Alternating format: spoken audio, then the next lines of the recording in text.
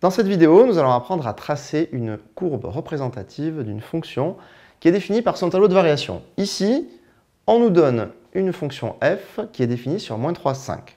En fait, on le voit sur la première ligne du tableau, puisque les valeurs de x sont comprises entre moins 3 au minimum et 5 au maximum.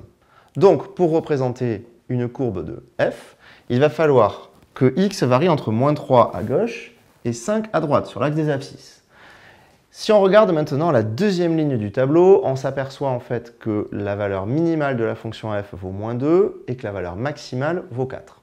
Donc, sur l'axe des ordonnées, il va falloir que y varie entre moins 2 et 4. Une fois que le repère est prêt, on peut commencer par la première étape qui consiste à placer les points qui sont associés aux valeurs que l'on lit dans le tableau. La première valeur qu'on lit, en fait, pour x, c'est x égale moins 3.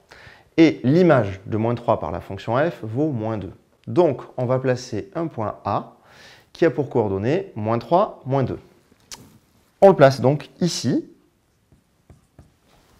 Le point A bien pour coordonnées moins 3, moins 2. Ensuite, le deuxième point, il a pour abscisse moins 1. C'est en fait la deuxième valeur de x qu'on lit dans le tableau. Et l'image de moins 1 par la fonction f, c'est 2. Donc, on va placer un point qu'on va appeler b, qui a pour coordonnées moins 1, 2. Donc ce point B, il se trouve ici.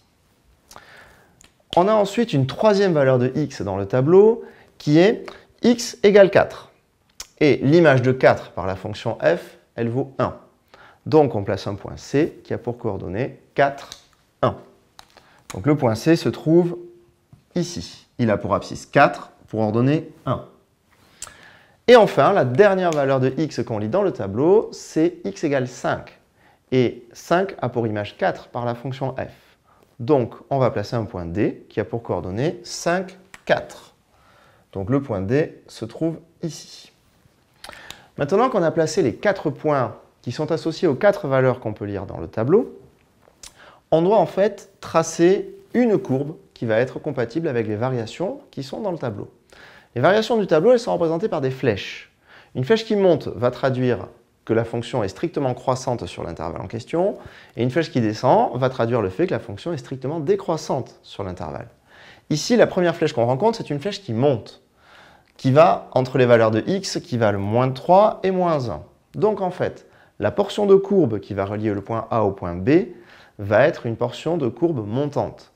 Donc, on trace ici, entre A et B, une portion de courbe montante. La deuxième flèche qu'on lit dans le tableau, qui est associée à l'intervalle moins 1, 4, c'est une flèche qui descend, qui traduit que la fonction est strictement décroissante sur l'intervalle en question. Donc, pour relier les points B et C, on va avoir une portion de courbe qui descend on peut la tracer par exemple comme ceci. Et enfin, la dernière flèche qu'on lit dans le tableau, c'est une flèche qui monte, donc qui traduit que la fonction est strictement croissante sur le dernier intervalle. Donc pour relier le point C au point D, on va tracer une portion de courbe qui monte. On a donc ici une courbe qui peut représenter la fonction f dont le tableau de variation est donné. Elle monte de moins 3 à moins 1, elle descend de moins 1 à 4, et elle monte de 4 à 5.